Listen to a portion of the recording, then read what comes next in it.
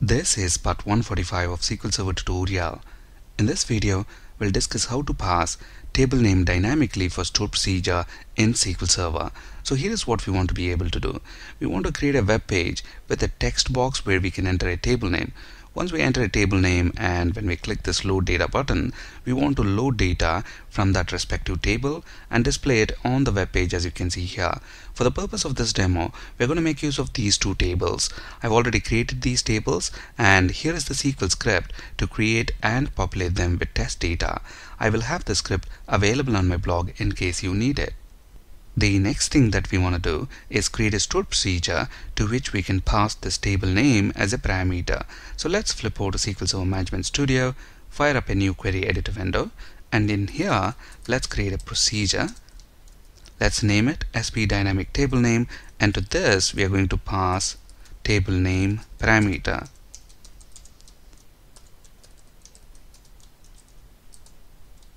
And within the body of the stored procedure, let's first declare a variable. Let's call it add_sql and this is going to be of type nvarchar of max. And we're going to use this variable to hold our dynamic SQL statement. So uh, here is our dynamic SQL statement. Select star from whatever table name that we are going to pass to this store procedure. And then finally let's use system stored procedure sp underscore execute SQL to execute our dynamic SQL statement. Now notice here we're passing table name as a parameter to the procedure and we are concatenating strings to build our dynamic SQL statements. In our previous video we discussed that this is bad because it opens doors for SQL injection attacks.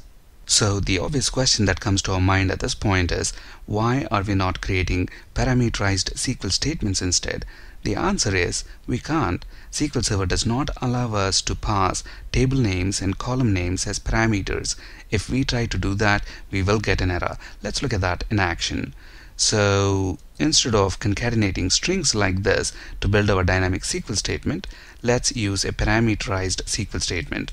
So here we have a parameter within our dynamic SQL statement and the parameter type is nvarchar and we are setting that parameter to a value that is coming into the stored procedure as a parameter. Now look at this. When I execute this the command completed successfully but then if we try to execute the stored procedure let's pass the table name as employees. And when we execute this look at that. It throws an error. Must declare the table variable at table name. So let's undo our changes. So the only way to pass a table name as a parameter to a stored procedure is like this by concatenating strings but we know this open doors for SQL injection we'll prove that in just a bit. But for now let's go ahead and alter this procedure. So the procedure is altered successfully and now if we pass a table name for example like employees and then when we execute this notice we get that table data. And similarly if we pass countries we get data from that respective table. Now let's quickly call this from a web page. This is the same project that we worked with in our previous videos. To this project let's add a new web form. Let's name it dynamic table name dot aspx and on this page let's paste some HTML this HTML gives us a page that looks like what we have on the slide right here. So notice we've got a text box where we can enter our table name and then the load data button. We have a label here which is used to display any errors that we get. And then finally a grid view control to display the table data. I've used Bootstrap to style this page. If you're new to Bootstrap please check our Bootstrap video tutorial. Now Let's click on the button control to generate the click event handler. We need a few ADO.NET namespaces on this page. In the interest of time, let's copy them over from the other page that we have implemented in our previous video. And I'm also going to copy the code that we have in the button click event handler. Let's paste this in the button click event handler of this new page and then we'll change the bits that are required. Now, if the user did not enter anything within the table name text box and when they click load data button we don't want to do anything. So first we want to check if the user has typed anything at all in this table name text box. And if you look at the ID of the table name text box it is input table name. So let's go ahead and do the check right here so within the button click event handler the first thing that we are doing is checking if that text box has got anything within that. If the user has typed something into that that's when we want to execute all this code.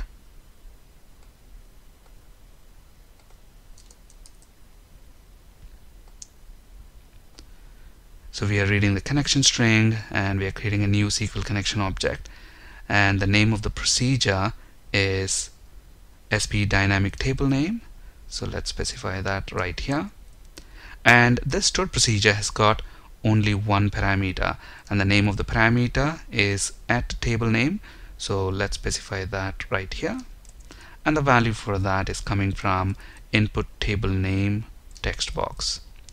And then we don't need to do this check. So let's get rid of that. And we also don't need to have all these parameters here. So let's delete all the three parameters. And let's format this code a bit. So we are then opening the connection executing the reader and then setting the result that we get as the data source for the grid view control. The ID of our grid view control on this page is gv table data. So let's copy that and specify it right here so with all these changes, let's run our application by pressing Ctrl F5.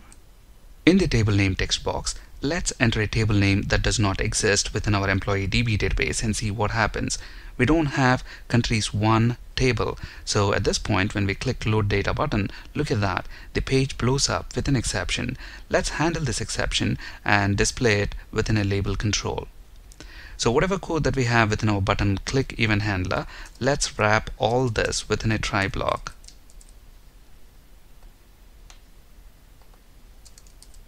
If there is any exception, we want to catch the exception and display the exception message in the error label control. The ID of the error label control is LBL error, so let's set its text property to the exception message. Now if we are able to display the table data successfully then we want to clear the error messages that we have already displayed within the label control. So let's set its text property to an empty string. So with these changes let's run our application one more time. Now if we enter a table name that does not exist notice the error message is displayed within the label control invalid object name countries 1 if we enter a table that does exist within our database, we get data from that respective table. Similarly, if we enter countries as the table name, we get data from the countries table.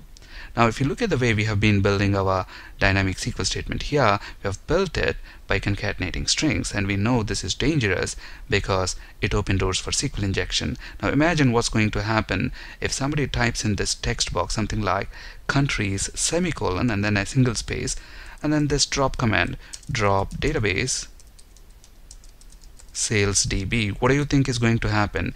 This will be appended to this string right here. Select star from countries. We have got a semicolon. And then this is treated as a separate command. Drop database sales db and within our SQL Server we've got a database with the name sales db look at what's going to happen when we click this load data button so we still see countries data here, but then if we go back to SQL Server and refresh this databases folder, look at what's going to happen to the sales DB. We don't have it anymore. So this application is susceptible to SQL injection attack. Now one way to prevent this SQL injection attack is by using quote name function. So in the procedure right here, instead of directly concatenating whatever value that we have in this table name variable, I'm going to pass it to this quote name function. And in a bit we'll understand what this quote name function is going to do. But for now, let's alter this procedure and create SalesDB database again.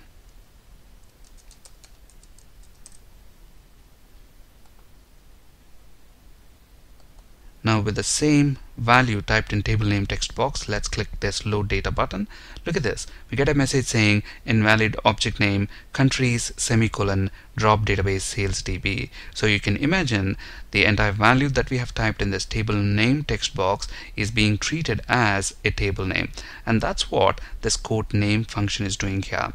Now, if we refresh the databases folder, notice we still have the sales DB database there so we are not able to inject SQL.